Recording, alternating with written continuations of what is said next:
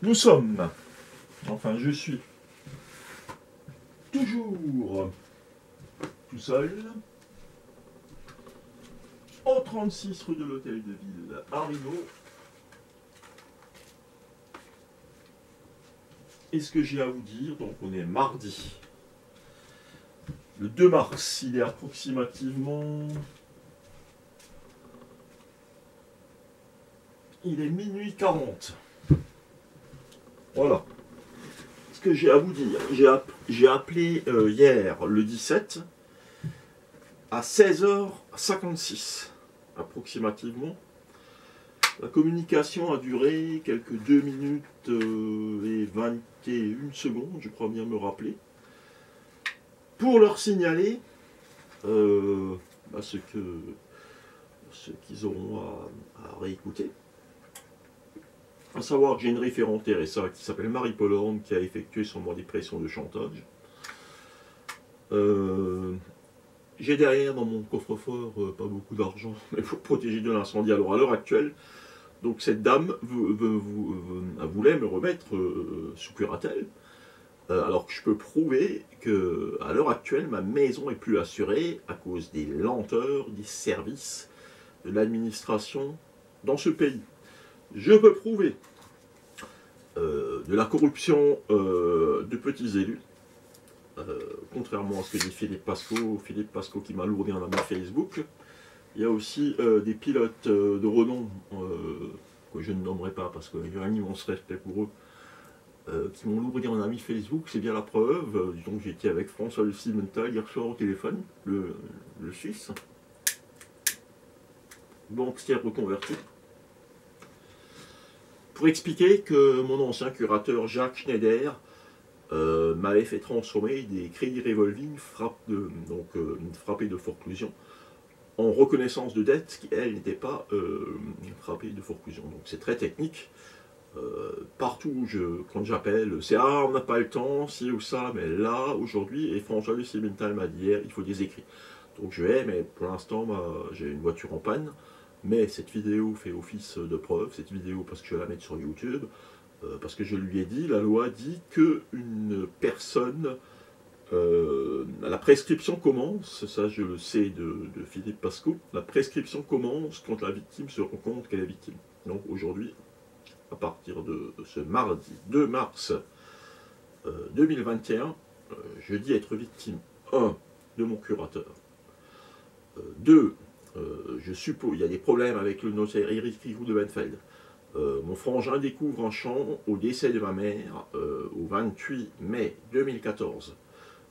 bizarrement, quand je demande des nouvelles au notaire Eric Ricou de Benfeld en 2019, il me dit je n'ai pas de compte à rendre sur des biens qui appartiennent à votre frère. Je soupçonne mon ancien curateur Jacques Schneider d'avoir vendu ce champ sans m'en avoir averti. À l'époque, j'étais sous curatelle, la juge était Stéphanie Ardol. Je, répète que Stéphanie Ardol était très gentille avec moi, tout comme Laurence Costiès. Je vous salue. Laurence Costiès qui m'avait donc euh, facilité euh, au grand maximum la levée de curatelle en disant qu'un simple certificat circonstancié euh, établi, ne serait-ce que par un médecin généraliste, suffirait pour faire lever cette curatelle. Or, euh, euh, donc là aussi, j'ai des, dossiers explosifs contre le CHS euh, de Kraft. je fais un coucou à Jean-Louis de Cacomo, interné abusivement. Il a écrit Le rescapé de l'âme, ce bouquin. J'ai envoyé par texto au directeur du CHS de Kraft récemment pour qu'il en soit informé. Il s'appelle Gilles Dufour. Pascal Colombali. Asile de la honte, 10 000 internements abusifs par an. Enfermez-les tous, internement, le scandale de l'abus et de l'arbitraire en psychiatrie. Robert Laffont, Catherine Derivery, Philippe Bernardet. Euh, je suis donc victime d'internement abusif. Il n'est pas abusif dans le sens euh, ou dans le motif de l'internement, il est abusif quant à la durée de l'internement. J'aurais dû sortir le vendredi, on m'a fait sortir le lundi. Bien entendu, ces gens-là, il ne faut jamais les contrarier. Si vous les contrariez, vous avez tout faux.